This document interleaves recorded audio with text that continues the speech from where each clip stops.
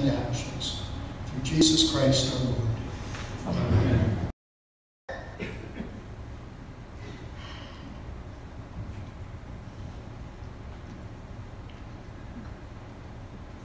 Love,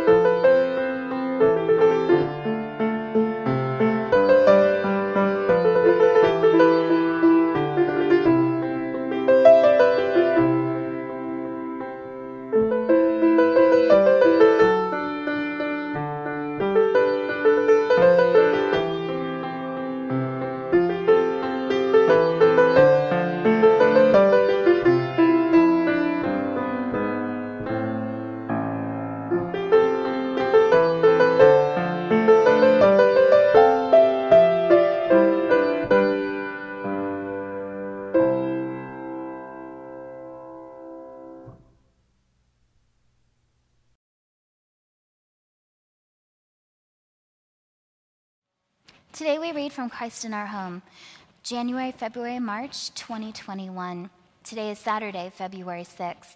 Today's reading comes from Matthew chapter 12, verses 9 through 14. Going on from that place, he went into their synagogue, and a man with a shriveled hand was there.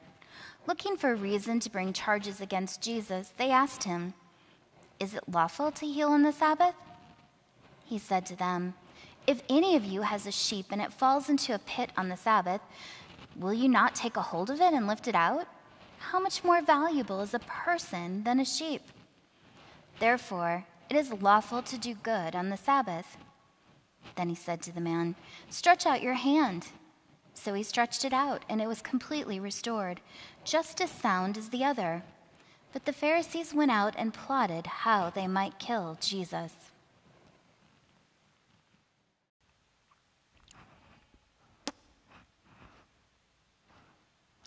Today is Saturday, February 6th. Today's society has a radically different relationship with the Sabbath than did the Pharisees. A day each week dedicated to rest and work seems inconceivable to many. Even, me, even my recently retired parents often note how busy they are. In light of our culture's devotion to overstuffed schedules, how are we to understand allegations of Jesus working on the day of rest? It's worth noting what Jesus does on the Sabbath. He heals.